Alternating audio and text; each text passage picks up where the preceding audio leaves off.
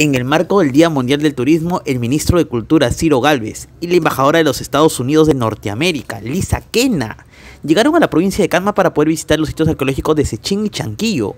Las autoridades participaron también en la proclamación de los resultados del concurso de fondo del embajador de los Estados Unidos de América para la preservación del patrimonio cultural 2021. Bueno, todas las figuras que se encuentran en el lado oeste que hemos visto se repiten casi un 90% en el lado este. Algunas son de mayores dimensiones, como pueden ver. Estaría en el valle y ahí tendrían agua, tendrían alimentos, etcétera, etcétera.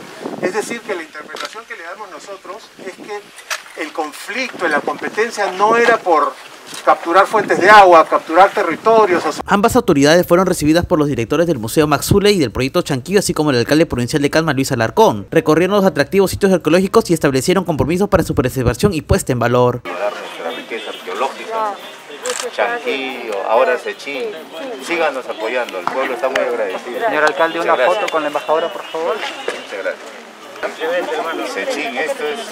Hay que hacer la foto porque ya tenemos que pasar a...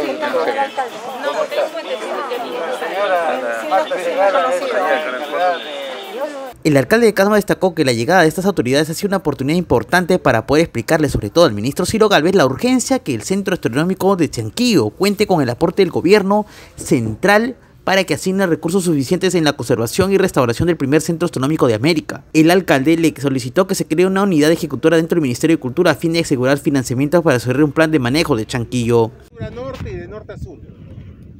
El arco del cielo que el horizonte recorre desde un punto fijo es siempre fijo.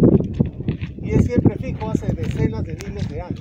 Se conoció que la embajadora estadounidense Lisa Kena anunció que la fundación World Monuments Fund otorgará 400 mil dólares para el trabajo de restauración y conservación de los monolitos de Sechín, fondos que serán de gran utilidad para poner en alto valor el complejo de Sechín y a su respecto también Chanquillo.